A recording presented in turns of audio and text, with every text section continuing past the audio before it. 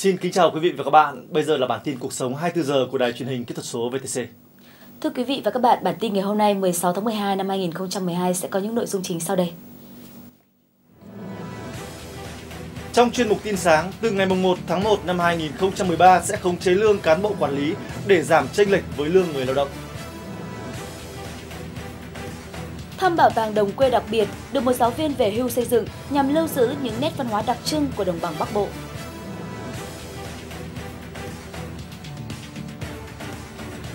Trong chuyên mục câu chuyện buổi sáng, viết chữ đẹp thời hiện đại liệu có còn được coi là cách rèn luyện nét người hay đã lỗi thời?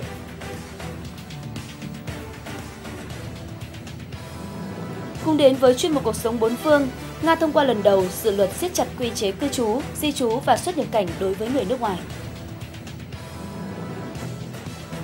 Tim nhân tạo hy vọng mới cho bệnh nhân tim trong bối cảnh lượng bệnh nhân ngày một tăng nhưng lượng tim hiến tặng lại rất hạn chế. Ngày hôm qua, tại huyện đảo Phú Quốc, tỉnh Kiên Giang đã diễn ra hội nghị sơ kết việc thực hiện quyết định số 178-2004 của Thủ tướng Chính phủ về việc phê duyệt đề án phát triển tổng thể đảo Phú Quốc, tỉnh Kiên Giang đến năm 2010 và tầm nhìn đến năm 2020. Trong đó, một trong những mục tiêu quan trọng được đặt ra là xây dựng Phú Quốc trở thành thành phố trực thuộc tỉnh, tiến tới xây dựng Phú Quốc trở thành một đặc khu kinh tế hành chính của cả nước. Sau đây mời quý vị và các bạn cùng nhìn lại một trong những sự kiện đáng chú ý nhất diễn ra vào ngày hôm qua này.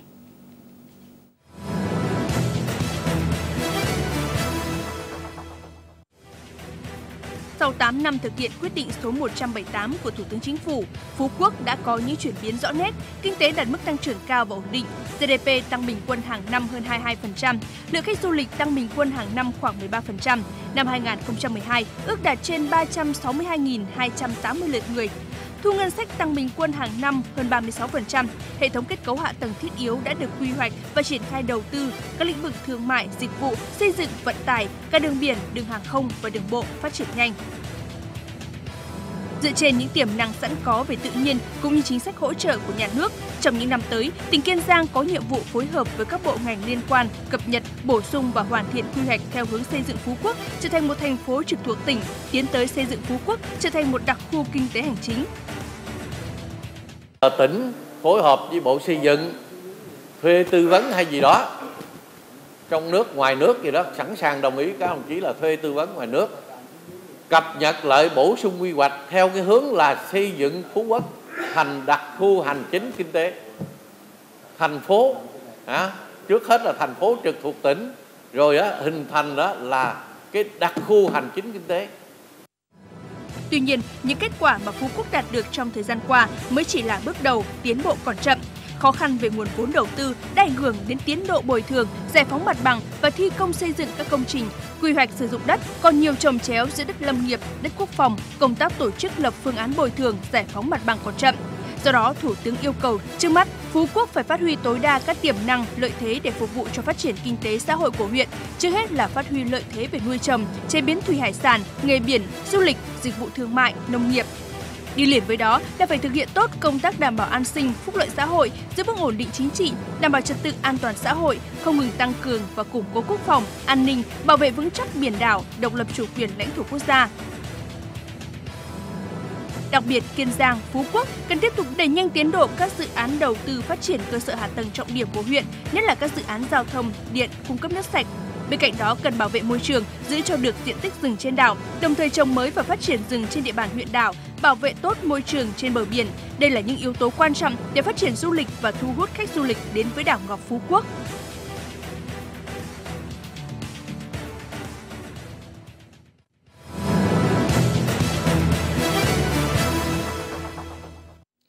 Sau đây chúng ta sẽ cùng đến với những tin tức được đăng tải trên các trang báo ra cuối tuần. Trên trang 4 và trang 5 của báo Tuổi Trẻ cuối tuần có bài viết vấn đề và sự kiện về những thông điệp bền vững của các nhà tài trợ. Hội nghị nhóm tư vấn các nhà tài trợ cho Việt Nam gọi tắt là CG diễn ra thứ hai, mùng 10 tháng 12 vừa qua đã lại nhấn mạnh đến hai từ bền vững qua chủ đề bàn thảo quan trọng nhất của nó, đặt nền móng cho tăng trưởng bền vững.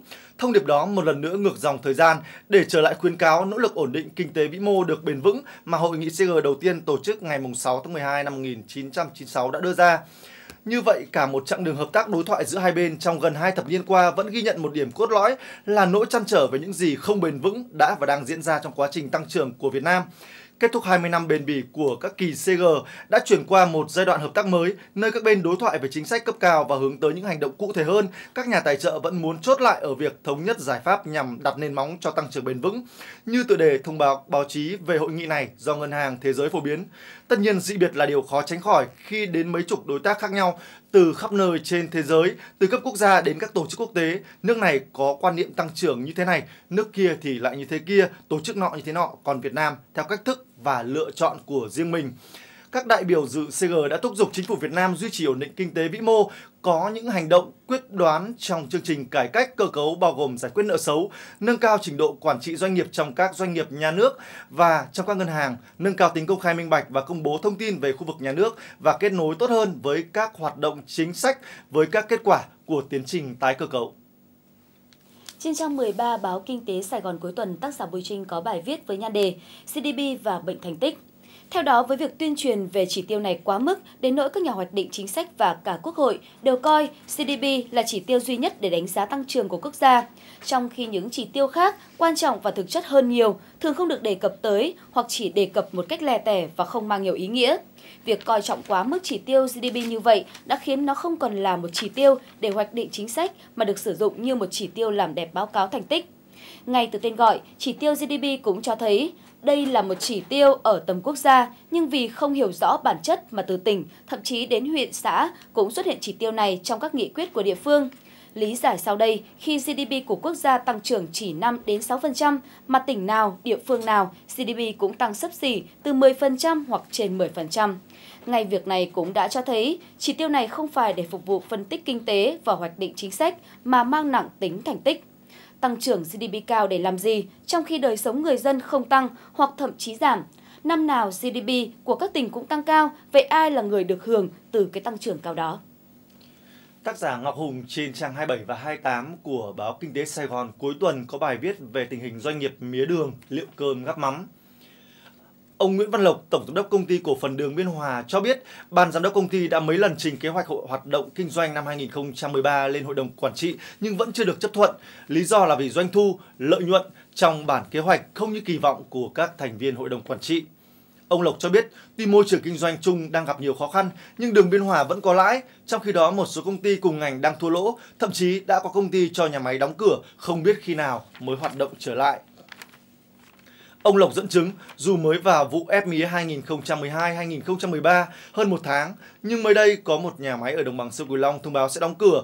Nguyên nhân do hoạt động ép mía lấy đường của nhà máy này không hiệu quả, nếu cứ tiếp tục sản xuất thì càng ngày càng thua lỗ. Hiệp hội Mía đường Việt Nam cũng không loại trừ khả năng qua năm 2013 sẽ có thêm nhiều nhà máy đường nữa rơi vào tình cảnh tương tự. Theo ông Lộc, đường sản xuất trong nước không thể cạnh tranh nổi với đường nhập lậu từ Thái Lan Ông Long cũng cho rằng nếu không ngăn chặn kịp thời tình trạng nhập lậu từ các tỉnh Tây Nam sang năm 2013 thì đa phần các công ty mía đường sẽ chịu cảnh thua lỗ. Trong chuyên mục thời luận của báo Lao động cuối tuần, tác giả Nguyễn Quang A có bài viết Những cái nhất nhì đáng xấu hổ. Theo đó, Việt Nam đạt được thứ hạng nhất nhì trong khu vực hay trên thế giới như xuất khẩu hạt tiêu, cà phê, gạo đứng đầu hay thứ nhì thế giới là những thành tích vô cùng đáng mừng. Cũng có những thành tích cũng có những thành tích nhất nhì đáng xấu hổ mà chúng ta phải tìm cách loại bỏ. Vài các hữu hiệu là nhà nước có chính sách kiên quyết, báo giới lên tiếng, tạo dư luận xã hội và nâng cao hiểu biết của người dân và quan chức trong việc chống tránh, loại trừ các thành tích bất hảo đó. Một đất nước đứng thứ 13 thế giới về dân số, đứng thứ 145 về thu nhập quốc nội đầu người, theo Ngân hàng Thế giới trong năm 2011, tức là vẫn thuộc loại rất nghèo, lại đứng đầu thế giới về săn tê giác ở Nam Phi, với tỷ lệ khủng khiếp trên 51% tổng số giấy phép mà họ cấp cho các thợ săn toàn thế giới. Bài viết còn chỉ ra rằng, không chỉ chuyện săn bắn, buôn bán và săn lậu, buôn bán lậu tê giác, Việt Nam còn có những thành tích cao về nhiều thứ khác. Đứng thứ 8 thế giới về tiêu thụ vàng, đứng thứ 11 trong số các nước có số người tử vong do tai nạn giao thông nhiều nhất thế giới. Và xếp thứ 12 thế giới về số người mắc bệnh lao, đứng thứ ba thế giới về mắc cúm AH5N1, đứng thứ 13 thế giới về vô cảm, vân vân và vân vân. Phải tạo ra dư luận ý thức để góp phần thúc đẩy tất cả mọi người, từ người dân đến quan chức, từ gia đình, doanh nghiệp cho đến các cơ quan nhà nước, hành động và đóng góp tạo ra những thành tích tốt và xóa bỏ hay giảm bớt các thành tích xấu để phát triển đất nước, để người dân Việt Nam không còn phải xấu hổ trong thế giới hội nhập toàn cầu này.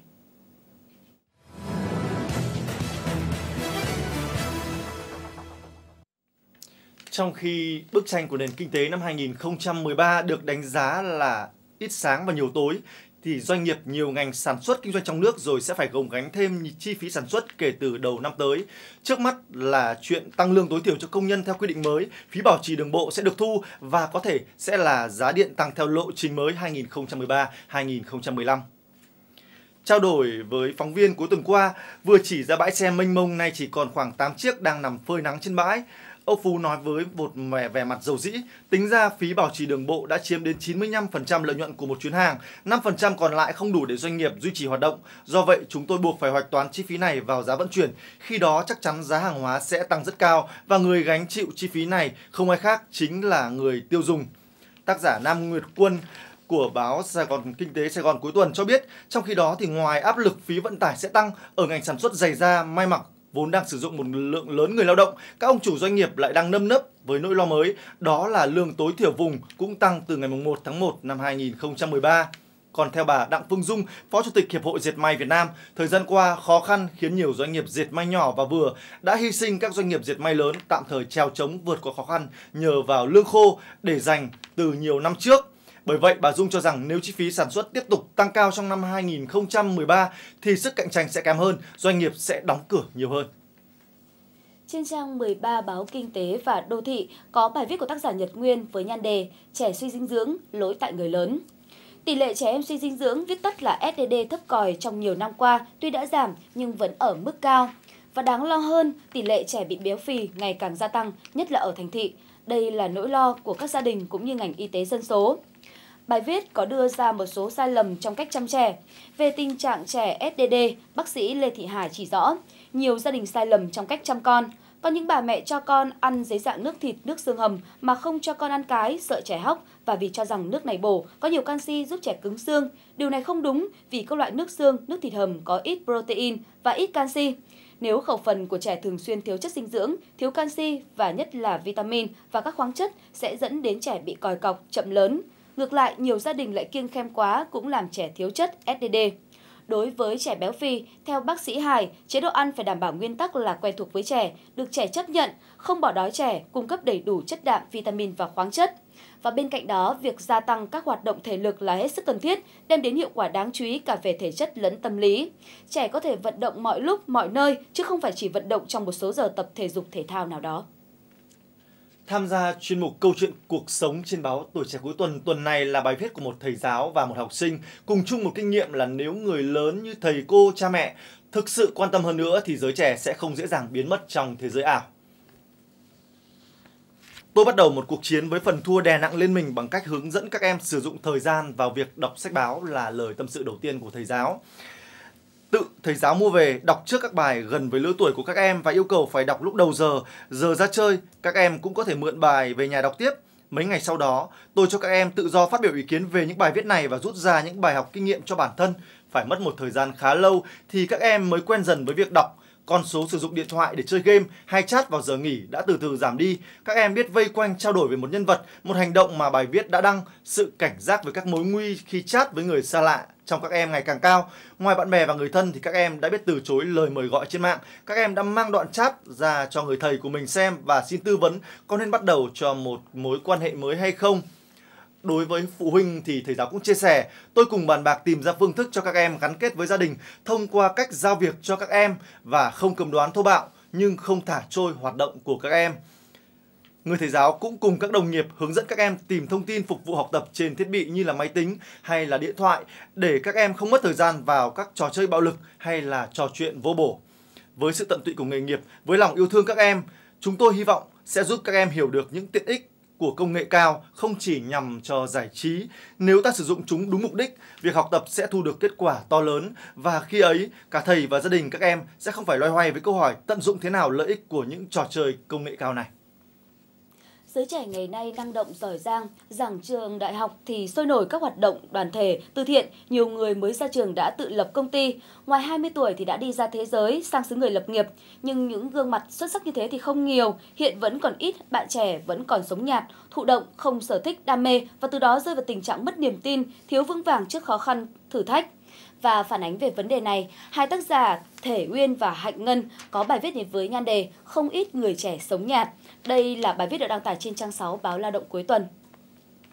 Có một thực tế không thể phủ nhận rằng hiện có một bộ phận bạn trẻ đã rơi vào tình trạng mất niềm tin, dẫn đến dao động, thiếu vững vàng trước khó khăn thử thách nên dễ bị lôi kéo, rồi rơi vào lối sống lệch lạc, sợ gánh vác trách nhiệm với gia đình, xã hội, sợ khó khăn gian khổ, không có ý chí vươn lên, sống khép mình, không hòa nhập với cộng đồng. Thờ ơ thiếu quan tâm đến người khác, dừng dưng với cuộc sống đang diễn ra xung quanh là hệ quả dễ thấy của lối sống nhạt. Tuy nhiên, nguy cơ tiềm ẩn lớn nhất, như một chuyên gia tâm lý chỉ ra rằng, chính là việc cảm thấy bế tắc trong cuộc sống với vị trí là người trực tiếp tham gia vào sự nghiệp trồng người, Thạc sĩ Đặng Kim Cương, phụ trách công tác đoàn thể của Đại học Nông lâm Thành phố Hồ Chí Minh đưa ra quan điểm, sở dĩ tình trạng này xảy ra, ngoài nguyên nhân do chịu sự tác động từ cuộc sống, sự thiếu quan tâm của gia đình thì còn có nguyên nhân xuất phát từ sự yếu kém trong công tác đoàn thể. Theo thạc sĩ Kim Cương, thay vì ngăn chặn cấm đoán, những hội đoàn, tổ chức và cá nhân có trách nhiệm nên vận động để thức tỉnh các bạn nhận thức được những chuẩn mực của cuộc sống để từ đó biết để ra giới hạn cũng như mục đích phấn đấu cho mình hãy uốn các bạn vào khuôn phép thay vì phê phán, cấm đoán hay trừng phạt. Trên báo Thể thao Văn hóa cuối tuần có cuộc trao đổi của phóng viên với ông Phan Anh Tú về câu chuyện thầy nội hay thầy ngoại sau khi AFF Suzuki Cup đang bước vào giai đoạn cuối nhưng lại vắng mặt đội tuyển Việt Nam. Khi được hỏi so sánh huấn luyện viên nội và huấn luyện viên ngoại tốt hơn, ông nhìn nhận về vấn đề này thế nào? Ông Tú cho biết, ở đây ta thấy nổi lên hai chức năng, một là chức năng chuyên môn, huấn luyện, tập luyện đơn thuần ở lĩnh vực này có thể nhiều người đảm trách được. Nhưng còn một chức năng quan trọng khác là khả năng tổ chức, quản lý đội bóng, chăm lo sức khỏe và tâm lý cho đội. Chính vì vậy, khi nói đến vấn đề huấn luyện viên trưởng nội hay ngoại, ta cần đánh giá họ bằng hai chức năng nói trên. Nếu có ai đó đầy đủ cả hai tố chất trên để đảm nhiệm đội tuyển quốc gia được, chứ không cứ phải thầy nội hay là thầy ngoại.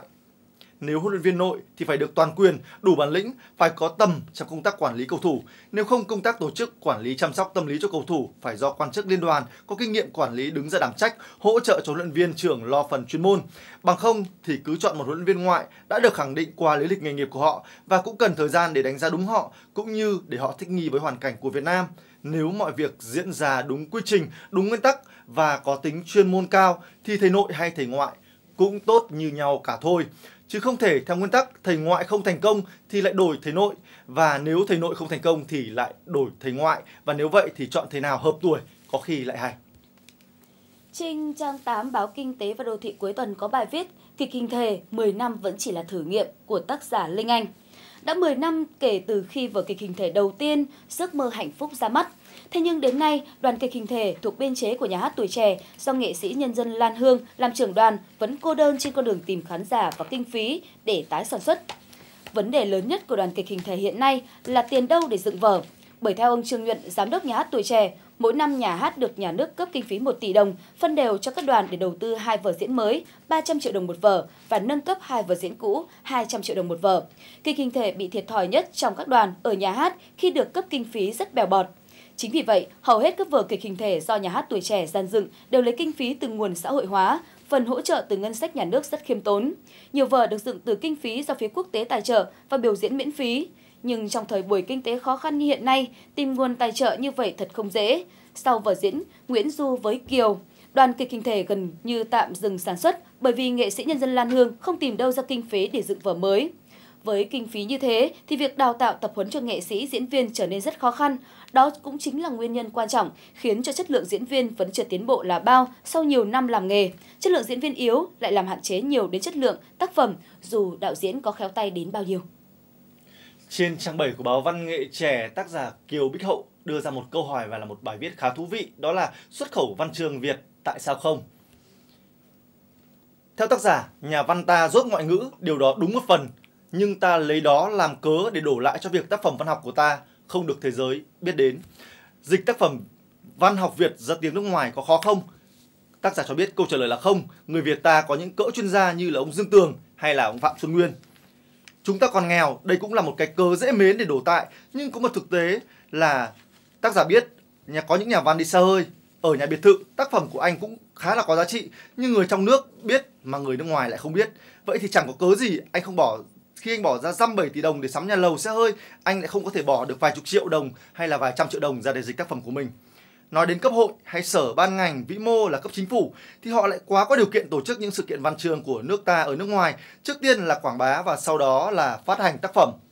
Văn chương Việt Nam là một sản phẩm văn hóa tinh thần độc đáo của người Việt Nam, giúp PR cho hình ảnh của Việt Nam đó là một phương tiện sang trọng để quảng bá cho quốc gia. Vậy thì không có cớ gì mà ta không chịu đầu tư cho văn chương Việt ra nước ngoài, vừa bỏ phí một nguồn tài nguyên, lại vừa khiến giải Nobel văn học cứ mãi ở tít trên cao đối với các nhà văn Việt. Có lẽ một câu hỏi khá thú vị của bài viết chính là điểm nhấn. Nghĩ mà xem, lúa gạo ta đã xuất khẩu thành công rồi thì văn chương tại sao không?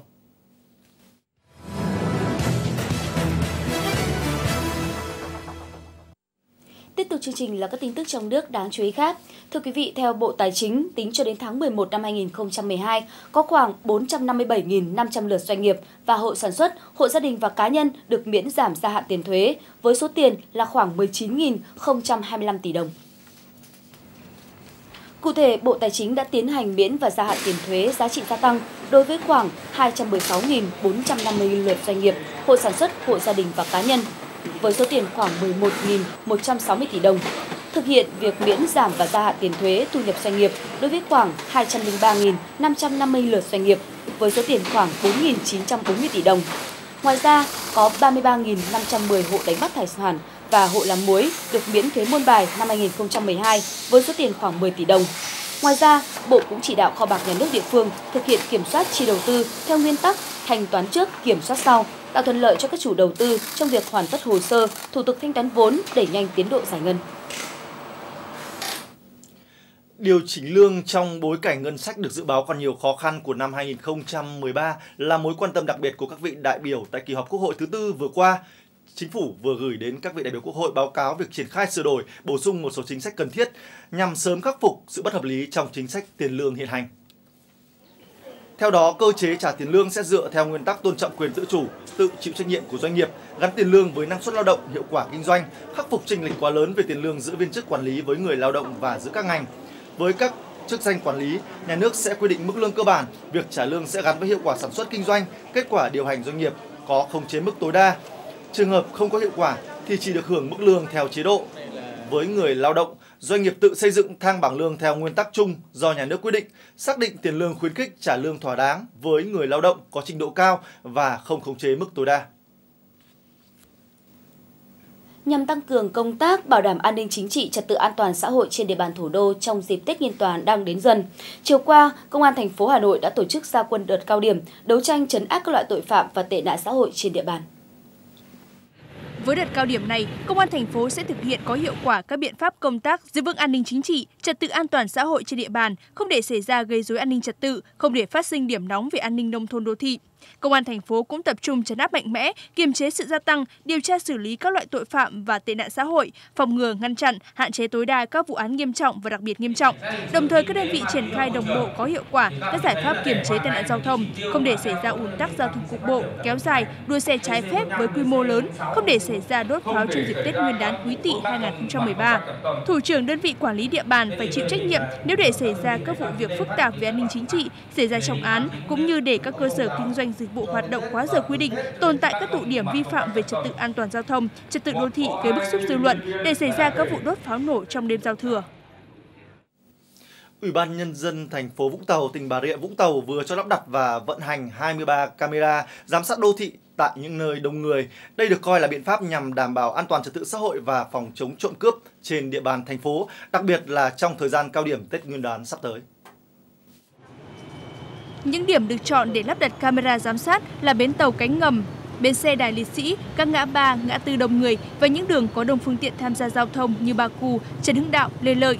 Dự án này do Phòng Quản lý Đô thị thành phố Vũng Tàu làm chủ đầu tư với tổng giá trị là 4,9 tỷ đồng. Những camera này sẽ truyền hình ảnh về hai màn hình đặt tại trụ sở công an và trụ sở Ủy ban nhân dân thành phố Vũng Tàu bằng hệ thống cáp quang.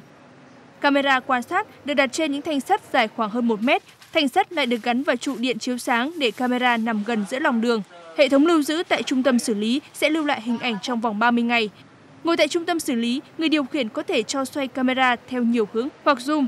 Được biết, sắp tới thành phố Vũng Tàu sẽ tiếp tục đầu tư thêm các thiết bị xử lý tự động ghi lại hình ảnh để xử lý nhiều trường hợp vi phạm giao thông như vượt đèn đỏ, chở quá khổ, đi sai làn đường.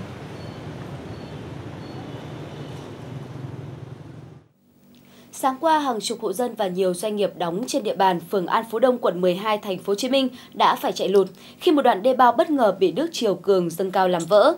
Tuy chưa có thống kê chính thức về thiệt hại, nhưng khoảng 15 hecta diện tích đất đã bị nhấn chìm trong nước.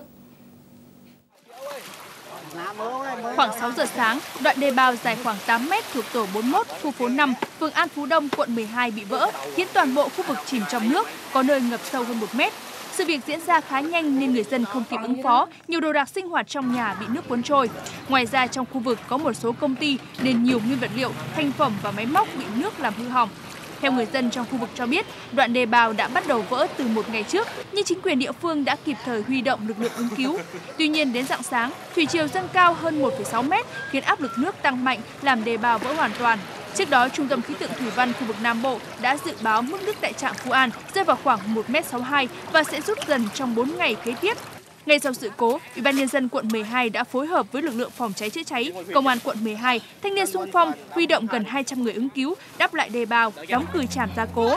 Đến trưa cùng ngày, nước đã bắt đầu rút, nhưng hàng chục nhà dân vẫn phải tiếp tục thu dọn vật dụng vì lo sợ thủy triều tiếp tục dâng cao đột ngột.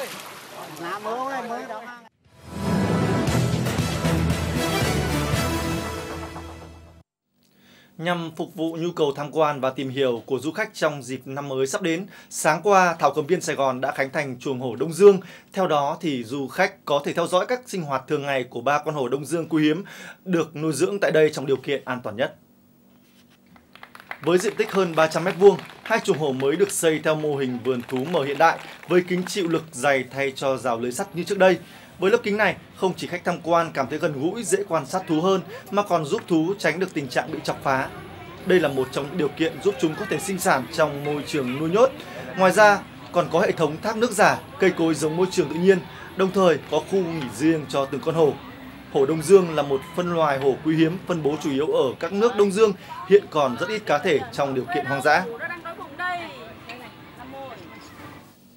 Thời gian gần đây, người dân và chính quyền địa phương, huyện Diên Khánh, tỉnh Khánh Hòa đều rất lo ngại và bức xúc vì việc pháo đài cửa Tây thành cổ Diên Khánh trong quá trình thi công trùng tu tôn tạo đã bị đào bới, làm thay đổi hiện trạng của di tích cấp quốc gia.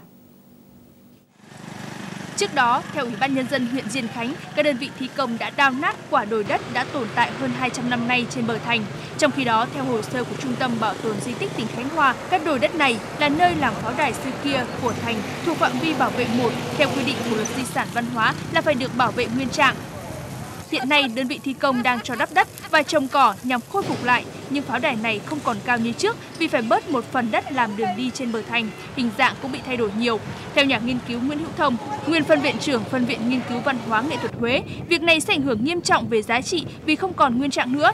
Được biết, đợt trùng tu tôn tạo di tích thành cổ Diên Khánh giai đoạn 1 được thực hiện từ tháng 7 năm 2012 và dự kiến hoàn thành vào quý 2 năm 2013, có vốn đầu tư 20 tỷ đồng. Một bảo tàng đồng quê vừa được khánh thành cách đây ít ngày tại huyện Giao Thủy của tỉnh Nam Định. Chủ nhân là một giáo viên về hưu đã lặn lội suốt 20 năm đi tìm sưu tầm những đồ vật của làng quê qua các thời kỳ để có thể sở hữu một số lượng những hiện vật mà ngay cả những người trong nghề cũng phải ngưỡng mộ. Mục đích duy nhất của bà giáo già là giúp cho những người trẻ hiểu hơn về cuộc sống của những người nông dân vùng đồng bằng Bắc Bộ xưa kia. Trên 2 tấn đồ đồng, trong đó có khoảng 200 cái mâm, 200 chiếc nồi, hàng chục chiếc đèn, chậu các loại, hơn một tạ tiền xu, 2 cân tiền giấy đông dương. Đó chỉ là một phần trong bộ sưu tập mà cô giáo Ngô Thị Khiếu đang sở hữu. Đến bảo tàng tư nhân này, khách tham quan còn được thỏa sức chiêm ngưỡng tìm hiểu về những đồ vật, dụng cụ sinh hoạt và lao động của người dân nông thôn qua các thời kỳ mộc mạc, giản dị, song mỗi đồ vật đều ẩn chứa đằng sau nó là những câu chuyện dài về cuộc sống, cũng như văn hóa của người nông dân Việt Nam. Đó là thứ mà ông cha ta đã làm muối, làm mộc, làm nông hay đánh bắt cá. Là những thói quen sinh hoạt, cuộc sống của người giàu, người nghèo trước kia. Và rất nhiều những điều thú vị khác. Đến tôi mà còn nhiều khi mà quan sát những cái đồ này tôi còn thấy nó nó nó rất là có ý nghĩa đối với mình về một cái quá khứ thì tới đây cái tuổi trẻ nó nó quan sát và nó được đến đây nó tham quan như thế này thì nó càng có cái suy nghĩ sâu về cái thế hệ trước. Có những cái đồ vật mà mình chưa được tức là mình uh, chưa được thực tế nhìn thấy thế nhưng mà có cảm giác một cảm giác như là rất là thân quen và gần gũi. Ngoài lượng hiện vật lớn được lưu giữ trong ngôi nhà 4 tầng, còn có 4 ngôi nhà khác được xây dựng xung quanh. Đây mới chính là những đồ sưu tầm mà chủ nhân của bảo tàng ưng ý nhất. Đó là các loại nhà tiêu biểu của các tầng lớp trong xã hội trước kia, từ bần nông, trung nông, địa chủ và ngôi nhà gác tường mang đặc trưng vùng quê giao thủy. Tất cả đều được cô khiếu tìm mua nguyên vẹn và gia cố lại cho chắc chắn. Nhìn vào đây, người xem sẽ biết được cách làm nhà và cả kiến trúc của người Việt xưa. Thứ giúp phân biệt hộ giàu và hộ nghèo và thứ phản ánh thói quen lao động, sản xuất và tiêu dùng của người nông thôn. À, tôi thích nhất đó là cái khu uh, nhà của gia đình Bần Cô Nông. À, tại sao tôi thích? Bởi vì là những cái mô hình của nhà bẩn Cô Nông bây giờ hầu như là không còn. Cái thứ hai nữa là à, cũng qua cái ngôi nhà này để à, gửi gắm tới thế hệ trẻ thấy được rằng là cái cuộc sống của cha ông ta trước đây thời phong kiến nó thiếu thốn vất vả như thế nào. Một phần vì xót xa cho những đồ vật xưa bị bán làm phế liệu, thậm chí là làm củi đun. Một phần vì muốn lưu giữ lại cho thế hệ sau những nét văn hóa truyền thống. Thế nên cô giáo Ngô Thị Khiếu đã dành hàng mấy chục năm trời và đầu tư cả tỷ đồng để sưu tầm lưu trữ. Buổi lễ khánh thành long trọng với sự tham dự của những đơn vị liên quan của tỉnh và huyện chính là sự ghi nhận những đóng góp của cô đối với quê nhà. Trong thời gian tới, sẽ còn rất nhiều việc phải làm để bảo tàng được sắp xếp tổ chức một cách khoa học, hợp lý hơn. Nhưng chắc chắn đây sẽ là nơi để nhân dân trong khu vực lùi tới tham quan, giúp thế hệ trẻ hiểu hơn về quê hương đất nước và có thể trong tương lai sẽ trở thành địa điểm du lịch hấp dẫn cho du khách quốc tế.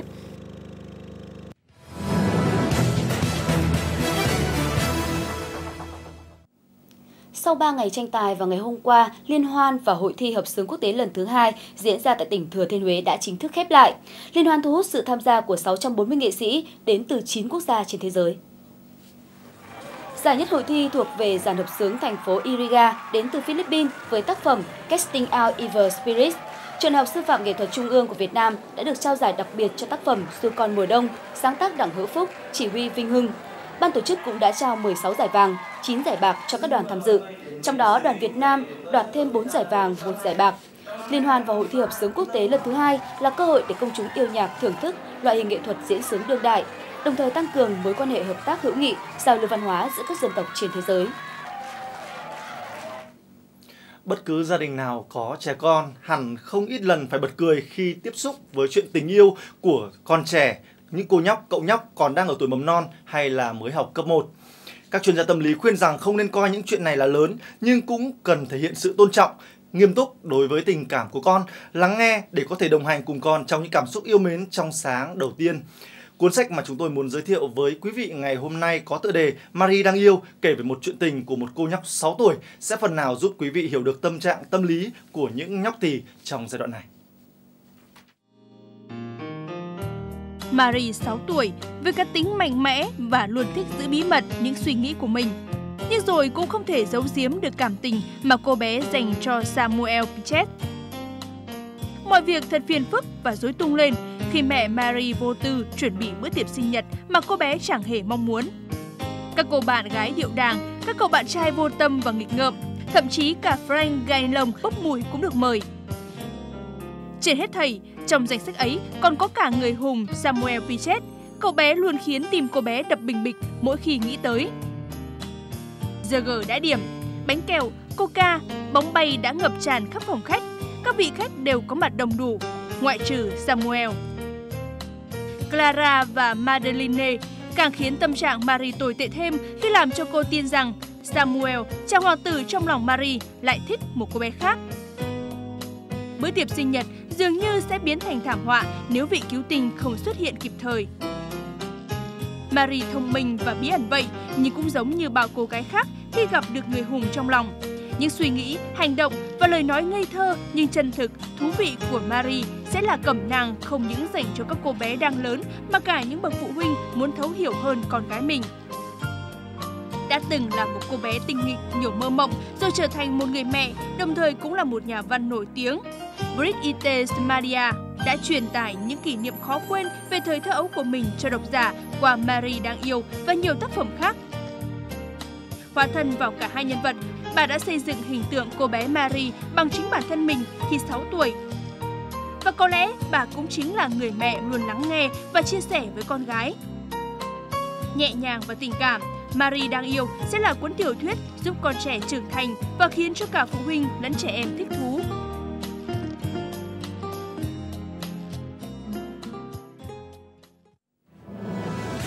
Tiếp theo chương trình cùng đến với câu chuyện buổi sáng, viết chữ đẹp thời hiện đại liệu có còn được coi là cách rèn luyện nên người hay đã lỗi thời? Tin tức nổi bật trên thế giới trong chuyên mục cuộc sống bốn phương. Sau khi bà Susan Rice xin rút, thì thượng nghị sĩ Đảng Dân Chủ John Kerry trở thành ứng viên sáng giá nhất cho vị trí Ngoại trưởng Mỹ trong nhiệm kỳ 2 của Tổng thống Obama. Bất chấp khủng hoảng kinh tế đang diễn ra ở khắp nơi, xu hướng cưới xin xa xỉ vẫn bùng nổ ở Ấn Độ.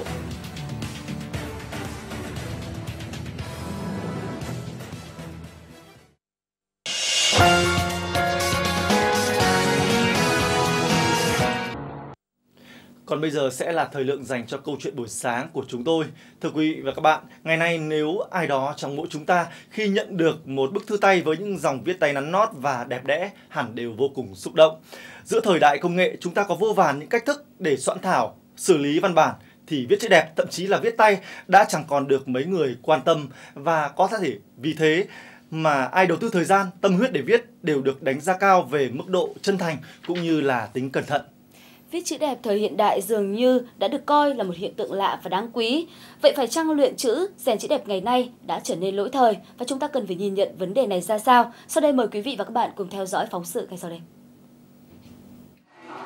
Một giờ tập viết của lớp 1A2 trường tiểu học cơ sở Nguyễn Đình Triều, Hà Nội. Để viết được một chữ, quả không hề đơn giản. Nhiều đôi mắt đã bị cận do cố gắng gò mình để luyện viết sao cho đúng mà bỏ quên tư thế ngồi sao cho chuẩn. Càng lên lớp cao, bên cạnh viết đúng, các em học sinh còn phải luyện sao cho chữ thật đẹp. Con tập thấy uh, việc tập luyện viết chữ đẹp rất khó ạ. À, ở nhà con dành thời gian khoảng 30 phút để con luyện chữ. À, luyện thì con cố gắng làm sao cho các nét chữ thật đẹp, thật đều, thật tròn ạ. Không phải là khó mà là quá khó. Bởi vì là con là một người à, ít vận động cho nên là viết à, thường hay bị mỏi tay. Đây là một môn học mang tính bắt buộc sẽ giúp cho các em nhận biết những con chữ đầu tiên, giúp ích cho việc viết, đọc của các em sau này. Theo các giáo viên, môn học này còn góp phần không nhỏ để rèn tính cách cho học trò. Việc rèn chữ cho các em sẽ giúp cho các em rèn được tính nét. À, khi viết chữ cẩn thận, đồng thời sẽ rèn luyện tính nét cẩn thận, giúp cho mọi công việc của các em chỉn chu hơn. Thế nhưng, ngay bản thân những người phải viết rất nhiều hàng ngày như các cô giáo này cũng nhận ra một điều, rằng trong tương lai, với sự hỗ trợ của rất nhiều phương tiện công nghệ hiện đại, chính các em cũng có thể bỏ qua bài học ngày hôm nay. Thì tất nhiên là dần dần về sau này thì các con cũng sẽ không viết những chữ như thế nữa. Nhưng cái nét cơ bản đẹp ban, ban đầu thì bao giờ nó cũng sẽ tạo thành những cái chữ nó dễ đọc, dễ cho người khác nhìn. Nếu như trước đây, nét chữ, nét người được hiểu như là một điều đương nhiên, thì nay với sự tiện lợi của việc sử dụng các phương tiện hiện đại, nét chữ đã không hoàn toàn mang ý nghĩa thể hiện tính cách con người nữa. Nếu chúng ta làm một cái cuộc điều tra xã hội học ấy, thì tôi đảm bảo là cái số gia đình mà lưu ý đến chuyện con viết chữ đẹp ít hơn rất nhiều. Đấy, bởi vì là nó không liên quan đến tiêu chuẩn đánh giá nó không liên quan đến những cái những cái cái cái điều người ta đang hướng tới như thi cử hay hay là là lĩnh hội kiến thức nó chỉ đánh giá mỗi một chút là tức là con người ta nom cái vở nom nó viết nom nó hơi lạ và đẹp Thế nhưng việc viết tay và thái độ đối với việc viết chữ đẹp vẫn chưa hẳn mất đi. Dù các phương tiện như máy vi tính đã giúp việc viết trở nên đơn giản, dễ dàng và tiết kiệm thời gian hơn rất nhiều. Minh chứng cho điều này là ngay tại Hà Nội, ngày càng có nhiều trung tâm dạy viết chữ đẹp ra đời. Học viên của lớp không chỉ là các em học sinh với nhu cầu học để bổ sung kỹ năng cho môn tập viết hay chính tả trên lớp, mà còn có những thanh niên học với các mục đích khác nhau. Ngày xưa thì chúng tôi chúng ta sẽ chỉ thấy là viết trên những bằng khen giấy ờ, cho học sinh bằng khen. Còn hiện tại bây giờ thì ờ, đa phần là được đánh máy. Và chắc chắn là khi mà nhìn qua một cái tờ giấy khen như thế thì sẽ có cảm xúc rất nhiều. Và bản thân mình thì mình học mình đã tốt nghiệp trường đại học mỹ thuật công nghiệp. Và đối với mình thì uh, luyện chữ đẹp bây giờ như kiểu là vẽ chữ. Và đấy là một điều rất là thú vị. Ngoài bản thân viết chữ đẹp thì sau này còn có thể là dạy cho con cái. Và bản thân mình thì cũng là một giáo viên ngoại ngữ. Đấy thì Ờ, chữ đẹp thì nó cũng tác động rất là tốt đến cái việc dạy của mình Nhu cầu tập viết chữ đẹp trong nhiều năm qua chưa bao giờ giảm. Bằng chứng là lớp học của thầy giáo Dương Tuấn ở số 10 Hàng Mành, Hà Nội, chỉ với diện tích 10 mét vuông. dòng lúc nào cũng đông đúc học viên. Dù học phí không hề rẻ, từ 800.000 cho đến 1 triệu 500.000 đồng cho 10 đến 12 buổi học tùy từng đối tượng. Theo anh Tuấn, nhu cầu không giảm chính bởi quan niệm và cách nhìn nhận về việc viết chữ đẹp trong cuộc sống hiện đại, không chỉ dừng lại ở việc rèn nét người như trước đây. Ngoài cái văn hóa đọc ra thì cái văn hóa viết nó cũng rất là quan trọng. Ở những nước phát triển gọi là nhất nhì thế giới bây giờ thì người ta vẫn sử dụng cái bút máy. Đấy. Và khi mà cái cảm giác mà nhận được những cái bức thư hoặc là những cái bức điện bằng tay của người thân mình viết ra thì thực sự là nó cũng có cảm giác nó nó nó đem lại cho cảm giác cho người đọc à, hơn là nhận được những dòng email trên máy tính.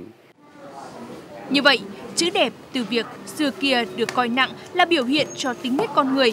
Nay với nhiều người, nó được coi là phương tiện thỏa mãn nhu cầu thưởng thức, thẩm mỹ hay mục đích riêng của mỗi cá nhân.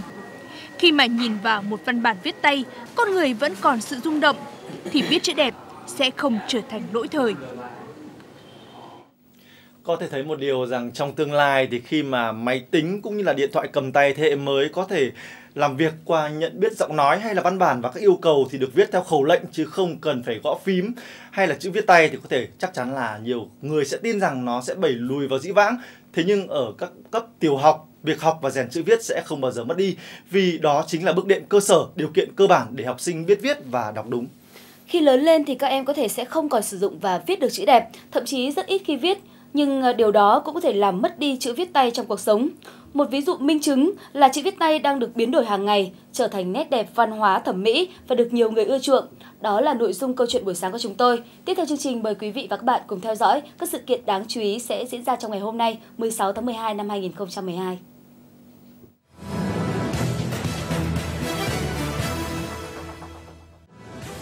Ngày hôm nay tại Hà Nội sẽ diễn ra lễ thông xe cầu vượt nhẹ tại nút giao thông Nguyễn Chí Thanh đường Láng. Do được xây dựng bằng bê tông cốt thép vĩnh cửu nên cầu đáp ứng cho mọi phương tiện, xe máy, xe buýt, xe tải đi qua. Cầu có chiều dài 315,7 m, mặt cắt ngang 16 m gồm 4 làn xe với tổng kinh phí xây dựng 340 tỷ đồng. Đây là cầu vượt đường bộ thứ tư trên địa bàn thành phố được đưa vào sử dụng như một giải pháp cấp bách góp phần giảm thiểu ùn tắc và tai nạn giao thông. Ngày hôm nay, Ủy ban nhân dân thành phố Hà Nội tổ chức gia quân triển khai kế hoạch hoạt động đảm bảo trật tự an toàn giao thông năm 2013, tổ chức đợt cao điểm đảm bảo trật tự an toàn giao thông dịp Tết Dương lịch, Tết Nguyên đán Quý Tỵ và lễ hội mùa xuân năm 2013. Sau lễ gia quân, công an các quận huyện cùng lực lượng thanh tra giao thông sẽ tiến hành giải tỏa các khu vực lấn chiếm hành lang an toàn giao thông, lấn chiếm vỉa hè lòng đường trên các tuyến phố, tuyến quốc lộ qua địa bàn. Ngày hôm nay tại Hà Nội sẽ diễn ra chương trình giao lưu nghệ thuật vang mãi bản hùng ca lần thứ tư. Chương trình gồm 3 phần, phần 1 thành cổ máu và hoa, phần 2 bản hùng ca Hà Nội điện biên phủ trên không, phần 3 thay lời tri ân. Toàn bộ chương trình tái hiện lại những thời khắc lịch sử bi hùng của cuộc chiến đấu 81 ngày đêm bảo vệ thành phố Quảng Trị, đầy gian khổ, hy sinh của quân và dân Quảng Trị và chiến thắng Hà Nội điện biên phủ trên không, bản anh hùng ca về chủ nghĩa anh hùng cách mạng Việt Nam. Ngày hôm nay, tại Nhà văn hóa Thanh niên Thành phố Hồ Chí Minh sẽ diễn ra ngày hội mùa xuân biển đảo với sự tham gia của hơn 200 văn nghệ sĩ và 100 chiến sĩ hải quân cùng đông đảo các bạn trẻ. Trong ngày hội, các doanh nghiệp, nghệ sĩ và người dân sẽ tham gia đóng góp quà xuân để gửi đến các chiến sĩ nơi biển đảo. Hàng ngàn phần quà Tết thấm đậm tình cảm của đất liền sẽ được chuyển đến quân và dân Trường Sa trong dịp năm mới 2013 và Tết Nguyên đán Quý Tỵ sắp tới. Ngày hôm nay tại thành phố Hồ Chí Minh sẽ diễn ra lễ khai mạc cuộc đua xe đạp quốc tế ACD Tour ở Việt Nam 2012 có 150 tay đua của 14 quốc gia và vùng lãnh thổ tham gia cuộc đua. Các vận động viên sẽ trải qua 5 chặng thi đấu với tổng chiều dài 900 km đi qua các tỉnh thành phố Long An, Tiền Giang, Vĩnh Long, Cần Thơ, Hậu Giang, Sóc Trăng, An Giang, Kiên Giang và thành phố Hồ Chí Minh. Ngày hôm nay, Bộ Y tế, Ủy ban nhân dân thành phố Hồ Chí Minh tổ chức khởi công xây dựng trung tâm ung biếu bệnh viện Trợ Rẫy nhằm đáp ứng yêu cầu cấp bách của công tác phòng chống ung thư tại thành phố và khu vực phía Nam. Trung tâm ung biếu được xây dựng trong khuôn viên bệnh viện Trợ Rẫy hiện hữu. Tại Việt Nam, mỗi năm có thêm khoảng 150.000 ca mắc ung thư và 75.000 ca tử vong do ung thư. Ở thành phố Hồ Chí Minh, ung thư là một trong những bệnh phổ biến nhất và đang có dấu hiệu tăng nhanh trong những năm gần đây với tỷ lệ tăng trung bình 5,4% một năm.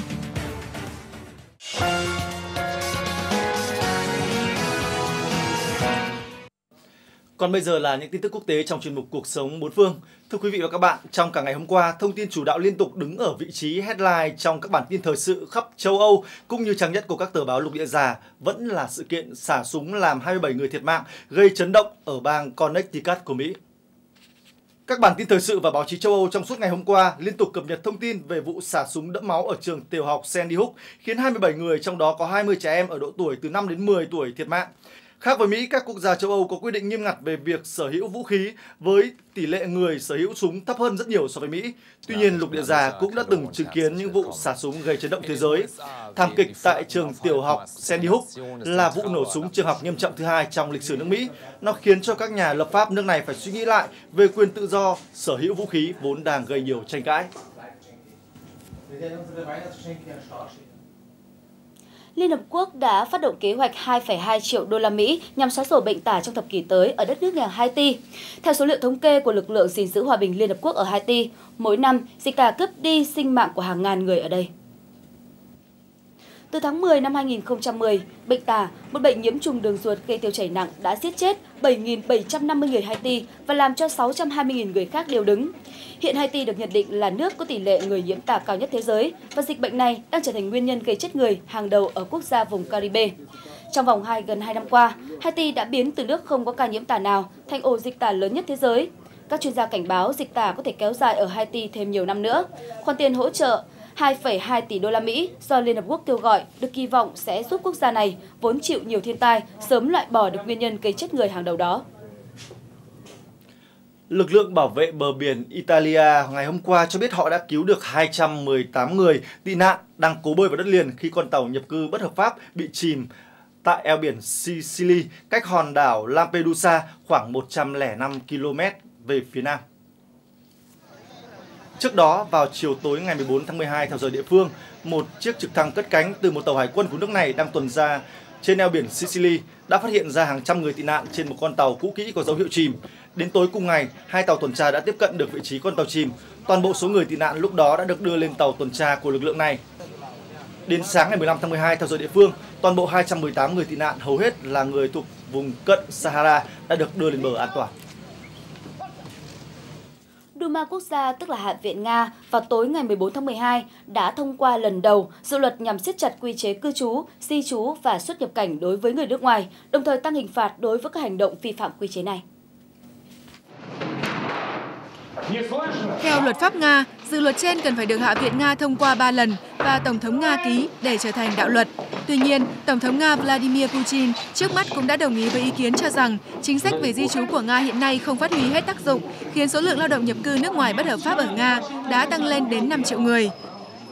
Dự luật nêu rõ, hành động tổ chức di trú cư trú trái phép sẽ bị tăng mức xử phạt tiền từ 200.000 rúp, tương đương gần 7.000 đô la Mỹ hiện tại, lên 300.000 rúp, tương đương gần 10.000 đô la Mỹ Thời gian lao động công ích tăng từ 360 giờ lên 420 giờ, lao động bắt buộc tăng từ 1 năm lên 2 đến 3 năm, thời gian phạt tù giam tăng từ 2 năm lên 5 đến 7 năm. Về quy chế xuất nhập cảnh, những công dân nước ngoài từng vi phạm quy chế xuất cảnh, hết thời hạn vẫn tiếp tục ở lại trên lãnh thổ Nga đều bị cấm nhập cảnh trong vòng 3 năm. Những người nước ngoài vi phạm quy chế nhập cảnh, sử dụng hộ chiếu giả mạo hoặc đứng tên người khác do từng vi phạm quy chế di trú, cư trú trước đó đều bị phạt tiền tới 10.000 đô la Mỹ hoặc bị phạt lao động bắt buộc, phạt tù giam đến 4 năm hoặc 5 đến 6 năm. Bộ Nội vụ và Cơ quan Di trú Liên bang Nga cho biết, trong năm 2011, phía Nga đã trục xuất hơn 33.000 người nước ngoài và cấm nhập cảnh hơn 20.000 người khác do bị phát hiện vi phạm quy chế cư trú, di trú và xuất nhập cảnh của nước này. Còn tại Mỹ, bà Susan Rice, đại sứ Mỹ tại Liên Hợp Quốc ngày 13 tháng 12 đã quyết định rút khỏi danh sách ứng cử viên trước Ngoại trưởng Mỹ và quyết định này của bà đã được Tổng thống Obama chấp nhận.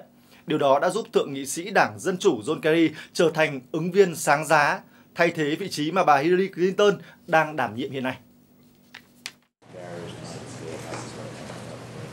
Sự rút lui của bà Susan Rice thực sự đã giúp Thượng nghị sĩ Đảng Dân Chủ John Kerry vượt lên dẫn đầu trong danh sách ứng viên của Tổng thống Obama. Đối thủ nặng ký nhất mà ông hiện phải đối mặt là Thượng nghị sĩ Đảng Cộng hòa Chuck Hagan. Theo nhận định của truyền thông nước này, tuyên bố chính thức về việc thay Ngoại trưởng Hillary Clinton, người đã xin rút khỏi chính trường trong nhiệm kỳ 2 của Tổng thống Obama, sẽ được đưa ra vào tuần tới. Thông tin trên có lẽ là một tin vui đối với người Nga bởi Nhật báo thương gia của nước này ngày 8 vừa qua đã dẫn lời một nguồn tin giấu tên từ Bộ Ngoại giao Nga cho hay Moscow muốn ông Kerry giữ vị trí này hơn bởi trong con mắt giới ngoại giao Nga, bà Rice bị cho là quá tham vọng và hiếu chiến. Tuy nhiên, với những phẩm chất và kinh nghiệm của một người hùng thời chiến, Thượng nghị sĩ john Kerry lại được kỳ vọng trở thành người đứng đầu lầu năm góc để treo lái một nền an ninh quốc phòng nhiều biến động. Thượng nghị sĩ Kerry, một cựu binh Mỹ từng tham chiến ở chiến trường Việt Nam, chính là một trong những thành viên tích cực của tổ chức những cựu binh tham chiến ở Việt Nam chống chiến tranh mà ông là người đồng sáng lập.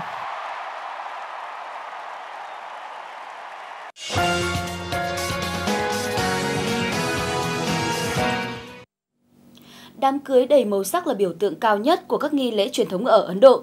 Thế nên, bất chấp khủng hoảng kinh tế đang diễn ra ở khắp nơi, xu hướng cưới xin xa xỉ vẫn bùng nổ ở Ấn Độ, quốc gia mà một đám cưới có thể kéo dài tới 5 ngày và tiêu tốn hàng nghìn đô la Mỹ. Sau khi thực hiện các nghi thức truyền thống tốn kém, chú rể buộc phải dừng xe cách nơi tổ chức đám cưới 200 mét để cưỡi trên một con bạch mã vào hội trường chính của đám cưới trong sự chúc tụng của bạn bè và người thân. Sau một loạt nghi lễ đầy phức tạp là một bữa tiệc thịnh soạn để thiết đãi bạn bè cùng người thân. Trong khi gia đình cô dâu thường tổ chức lễ cưới trong 4 ngày, thì bên chú rể là 3 ngày. Đối với các gia đình giàu có, lễ cưới có thể kéo dài đến hơn 10 ngày. Chi phí để tổ chức lễ cưới tại Ấn Độ tương đương một năm thu nhập của cả chú rể và cô dâu, tức khoảng 1 triệu rupee hay hơn 18.000 đô la Mỹ. So với năm ngoái, hoạt động kinh doanh của chúng tôi đã tăng gấp đôi. Gần đây chúng tôi phục vụ khoảng 6 lễ cưới mỗi ngày, trong khi con số đó hồi năm ngoái chỉ là 2 đến 3.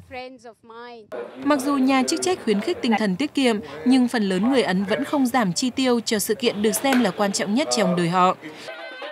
Hiện đang là đỉnh điểm mùa cưới tại Ấn Độ, kéo dài từ tháng 10 hàng năm đến tháng 4 năm sau. Có ngày riêng thành phố Mumbai đã chứng kiến đến 30.000 lễ cưới. Điều này đã giúp việc làm ăn của nhiều ngành dịch vụ liên quan đến lễ cưới phát đàn. Theo thống kê, lĩnh vực này tại Ấn Độ đạt doanh thu hàng năm lên đến hơn 48 triệu đô la Mỹ. Với số lượng tim hiến tặng còn quá ít so với nhu cầu của các bệnh nhân có nhu cầu thay tim ngày càng cao trên toàn thế giới, thì việc sử dụng những quả tim nhân tạo tạm thời đã trở thành một giải pháp được nhắc đến nhiều hơn. Công nghệ này đang dần thuyết phục các bác sĩ phẫu thuật và nhiều bệnh nhân tim tin rằng nó sẽ sớm trở thành một giải pháp tối ưu và lâu dài. Anh Daquan Jenkins, người New York, cảm thấy những nhịp đập lặp đi lặp lại, luôn đồng hành cùng anh trên mọi chặng đường này, rất thân thuộc. Khác hẳn với trạng thái khó chịu, những tiếng đập ấy cho anh biết rằng trái tim nhân tạo được cấy vào lồng ngực anh đang hoạt động tốt.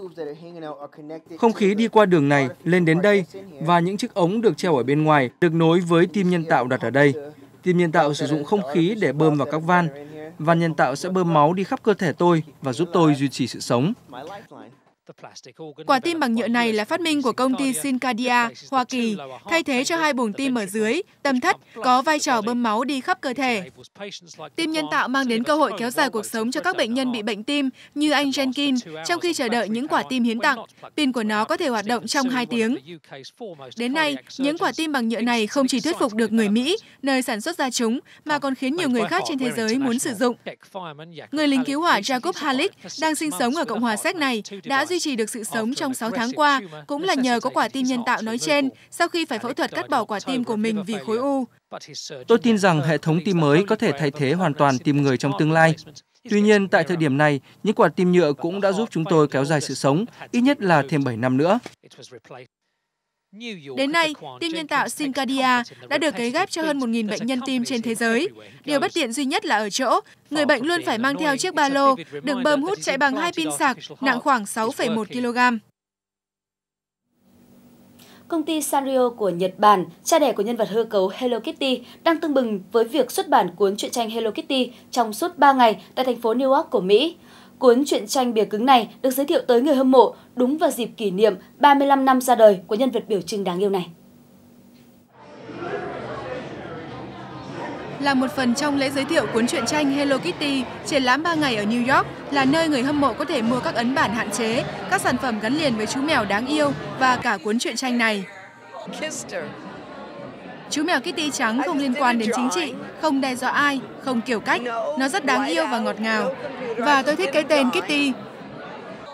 Vào đêm trước khi lễ giới thiệu cuốn truyện tranh diễn ra, rất nhiều độc giả và nghệ sĩ tập trung ở phòng triển lãm để nghe tác giả của cuốn truyện tranh chia sẻ về công việc của mình. Cô Johnson cho biết cô vẽ chú mèo trắng chỉ bằng chì và không hề sử dụng đến sự hỗ trợ của máy tính.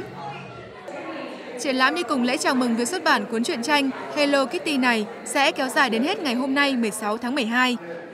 Hello Kitty là một nhân vật hư cấu theo văn hóa kawaii, có nghĩa là dễ thương trong nền văn hóa hiện đại của Nhật Bản. Hello Kitty là một cô mèo mặc áo trắng, cụt đuôi và mang chiếc nơ đỏ trên đầu. Nhân vật này lần đầu tiên xuất hiện ở Nhật Bản trong một bản tin trên một chiếc ví đựng tiền xu vào năm 1974 và người Mỹ lần đầu tiên biết đến cô nàng là vào năm 1976. Vào thời điểm đó, Hello Kitty được xem là nhân vật đối trọng với chú chuột Mickey của hãng Walt Disney. Và thông tin vừa rồi cũng đã khép lại thời lượng của bản tin cuộc sống 24 giờ sáng nay của chúng tôi. Cảm ơn quý vị và các bạn đã quan tâm theo dõi. Xin kính chào tạm biệt và hẹn gặp lại quý vị và các bạn vào các bản tin tiếp theo.